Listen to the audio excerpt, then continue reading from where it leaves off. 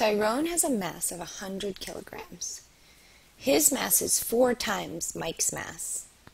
What is Mike's mass in kilograms? So here's Tyrone, and his mass is four times Mike's mass. He's four times as big. In this lesson, you will learn how to solve multiplication and division word problems about mass by drawing pictures. Let's review. You already know that mass is how much matter an object contains, and you can measure it in grams or kilograms. And a common mistake when solving word problems is not carefully reading and thinking about what a word problem is asking before trying to solve it. So we're thinking about this word problem, which is a challenging word problem. We need to be really thoughtful about what it's telling us and how to solve it. So thinking what is the important information in this word problem and how should I solve it? Do I need to use addition, subtraction, multiplication, division? What strategies can I use? So let's look at another word problem to try to practice. An orange has a mass of 90 grams. What is the mass of four oranges? So I'm going to draw a picture here. Here's my orange that has a mass of 90 grams. But I don't have just one. I actually have four of them. And so I know that I have 90 grams times four oranges equals what?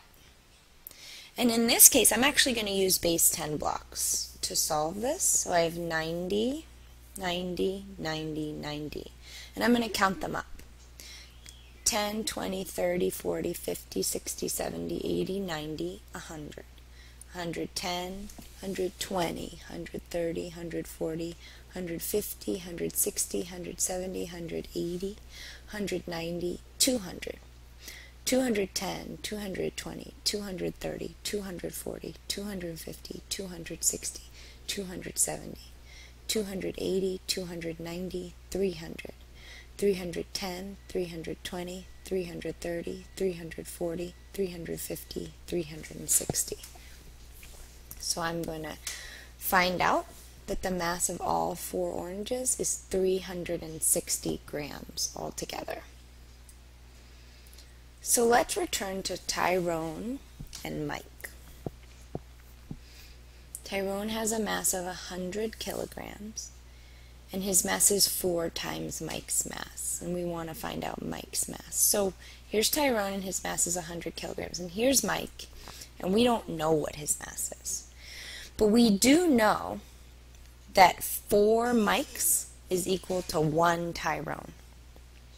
That's what 4 times means. It's 4 times Mike's mass. So I'm trying to think actually here of using a number pattern that I already know. 4 whats equals 100. And in my mind, I'm thinking 4 quarters equals 100 cents and each quarter is 25 cents. So 4 25s equals 100. And so I'm going to use that connection to help me realize that 100 kilograms divided by 4 is going to give me 25 kilograms. So Mike's mass is 25 kilograms.